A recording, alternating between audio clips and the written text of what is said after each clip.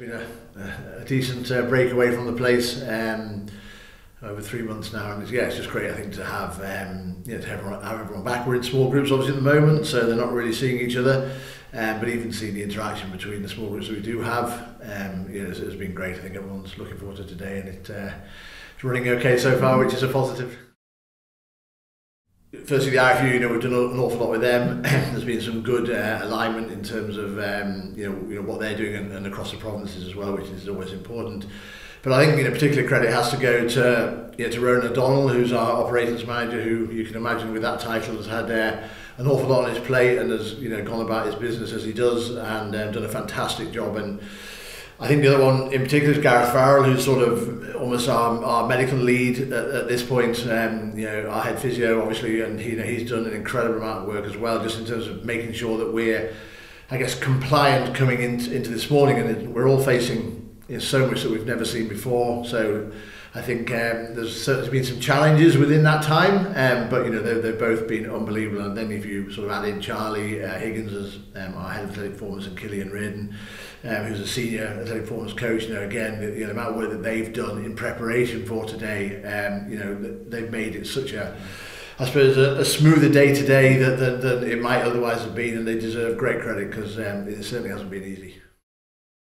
There's been an awful lot of, uh, I suppose, paperwork and such, and um, you know, I suppose most of it would be protocols as opposed to guidelines, but it's something that we have to do as opposed to, um, you know, we, you know, that you think about doing. I think, know, the most important thing for me was to provide a safe and secure environment for our players and staff, you know, and that is was the first key, you know, key element of when we sat down to, to discuss how we went about um, implementing um, the protocols. That was the most important thing, and you know, we had to do whatever it take you know, to get to that, and so it's taken an awful lot of hours from say a, a, you know a number of people who've done who've done fantastic job. So from that end, yeah, that's been really important. And then it's just you know a lot of it you can put down to common sense. You know, like you know I think people have got used to behaving in a certain way. You know, in and around the place now when you walk along the street, you know people are avoiding people. So just making sure that you're social distancing, making sure that you're doing the you know the so, the COVID nineteen etiquette. You know um, sneezing into your arm or coughing into your arm or whatever it might be and you know throwing away tissues and, and all that stuff that's you know probably ingrained now in most of our in our you know most of our heads but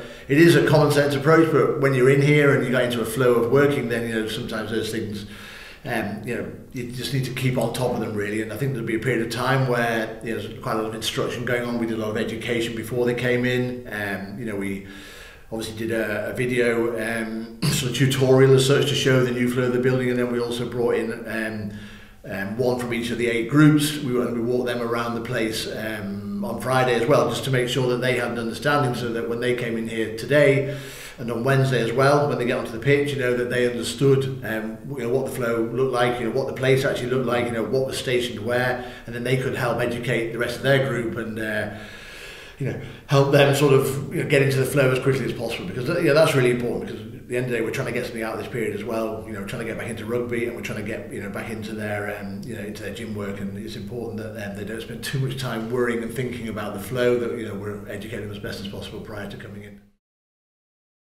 It sort of fell into place, you know, quite well. You know, like so again, that safe, secure environment, that was the, the you know, that was the be all and end all, um, and that's still the most important part. But like you know, even even the fact it's the 22nd of June and we're due to play on the 22nd of August, you know, it's like a, a two months, and you know there's a roadmap, you know, and as long as we continue to adhere to the protocols and you know make sure that we do that, you know, with a view to understanding what's at the end of that yeah, process, you know, which as you say is uh, a roadmap to be back playing you know, individual games and then into the, um, you know, into the uh, Pro 14 and then obviously the Pro 14 dates for next year as well. I think October the 3rd being the first game. So I think it gives everyone um, a degree of hope after, a, you know, uh, you know, a long few weeks.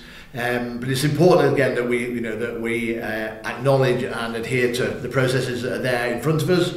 And knowing that as we sort of tick off certain boxes then we can move on to the next phase. And as you say that's been laid out you know well for us. We have a good understanding of it. And if there's a, an opportunity to accelerate some of those you know while we're in the process that's fine. But at the moment you know we have a plan and you know we intend to stick to it until we're told different